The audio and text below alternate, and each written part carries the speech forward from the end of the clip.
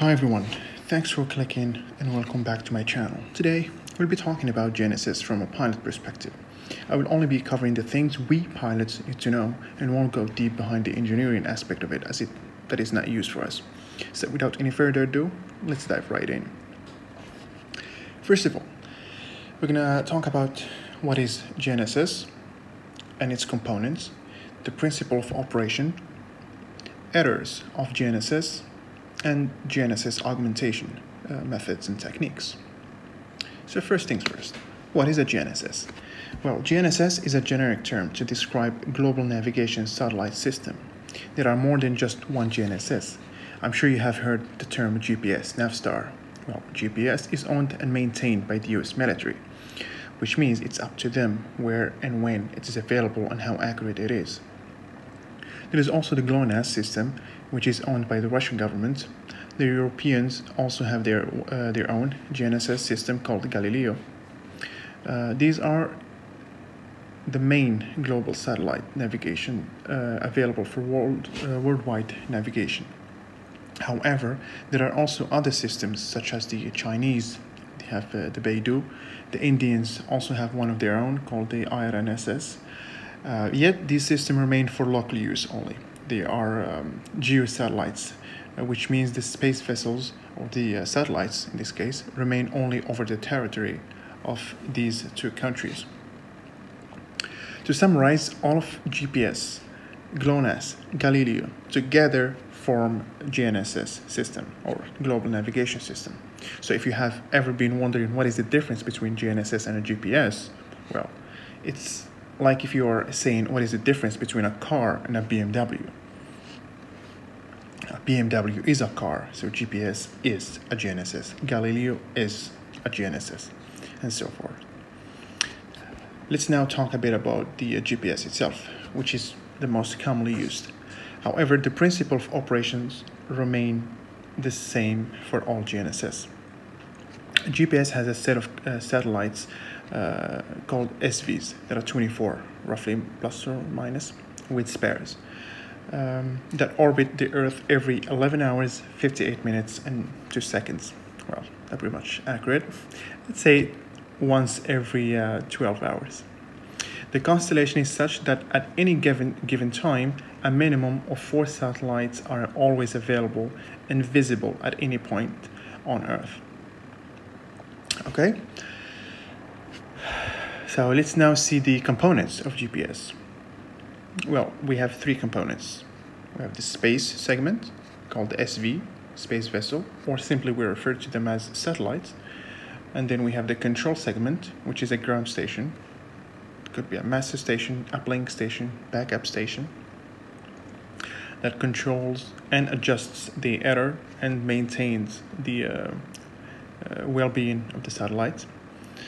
And we have the third segment, which is the user segment, or simply the receiver. It could be a handheld GPS, it could be a car, phone, tracker, an airplane, a boat, whatever, just a, a GNSS receiver. Okay, let's look at now the principle of operations, or the working principle. All GNSS work on the principle of uh, trilateration, where the SV, or the satellite, transmits two signals L1 and the L2 on different frequencies because of ionospheric uh, layer. We will talk about the ionosphere later on the video. The signals are then received by the receiver.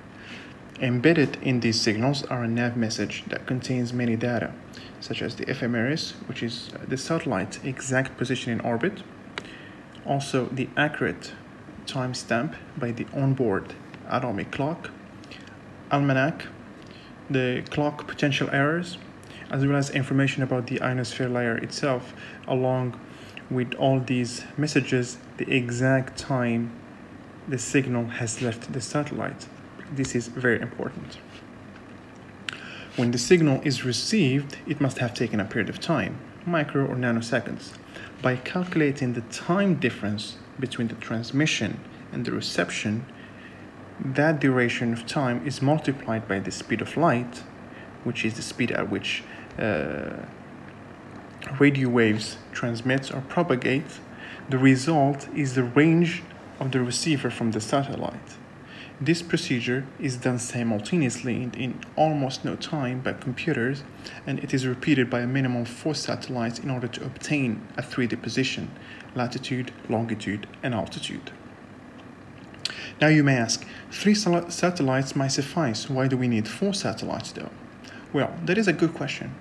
As we know, the accurate the that duration between transmission and reception is the accurate our GPS position will become.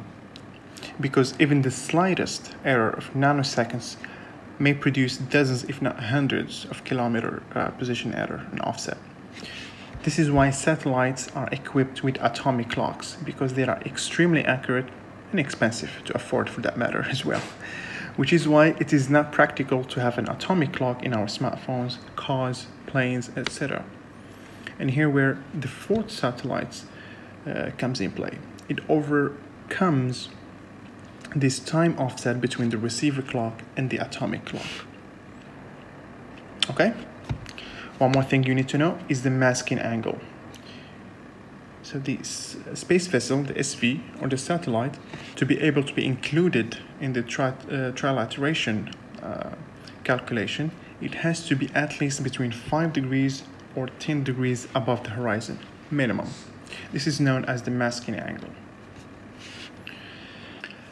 Okay, now let's have a look at the errors accompanied the GNSS. First error is the ionosphere. The ionosphere is a layer about 60 to 100 km above the surface of the Earth, where there are free moving electrons. This layer affects and slows down the propagation of the SV signal. This is why the SVs transmit two signals on different frequencies. The second error is the clock error. SVs have atomic clocks, unlike the receivers. With regular clocks, which are uh, more prone to some offset, time offset is a difference in time between the SV clock and the receiver clock. Time error is corrected by the use of the fourth satellites, as we have previously mentioned. The general theory of relativity is the third error. A fast moving clock, or any other object for that matter, will slow down. So SV atomic clocks, which are moving at around 14,000 km per hour, will slow down by 7 microseconds every day. And then we have general relativity theory. The slower you move through gravity, or the lower the gravitational field due to the distance from Earth's surface, the faster time passes. So at about 11,000 nautical mile per hour, the Earth or the SV experience a much lower gravitational force. Thus, the time on board ticks faster by about 45 microseconds a day. Therefore, we have 45 microseconds faster minus 7 microseconds slower, and we get a 38 microsecond time offset per day, which is roughly about 11 kilometers position error. This time dilation is closely monitored and corrected by the control segment on the ground and then transmitted back to the SV via the uplink, uh, the uplink station. Now we're going to have a look at GNSS augmentation. Although GNSS navigation is pretty much accurate enough that is relied on almost completely by aviation and maritime, it is still not accurate to the degree that may allow us to fly precision approaches or fly in congested airspace. Thus, to further upgrade the accuracy and the integrity of the GNSS navigation, there are three techniques to do so. The first technique is the SBAS, or Satellite Based Augmentation System. It is a differential technique that relies on geosatellites to pro, uh, broadcast the augmentation messages to aircraft. With SBAS capability, we can now fly APV approaches, approaches with vertical guidance, such as the RNP uh, approaches LPV, localizer performance with vertical guidance, LNAV, VNAV, and so on.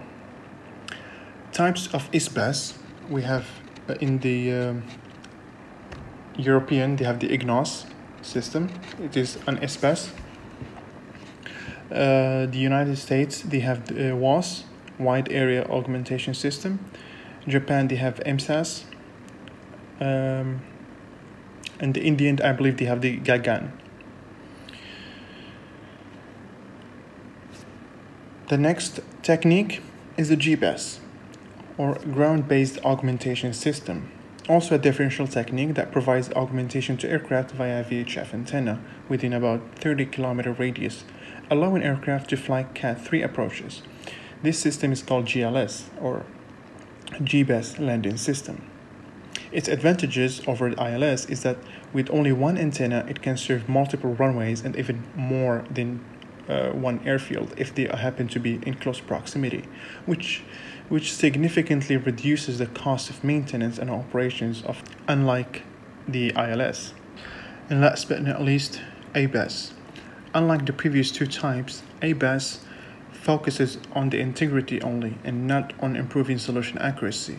With ABAS, airborne based augmentation system, two types of techniques are envisaged RAIM, Receiver Autonomous Integrity Monitoring, and AAIM, which is Aircraft Autonomous Integrity Monitoring.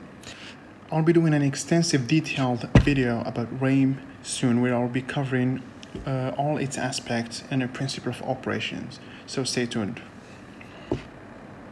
Alright ladies and gentlemen, this is it. I hope this video has been helpful for you.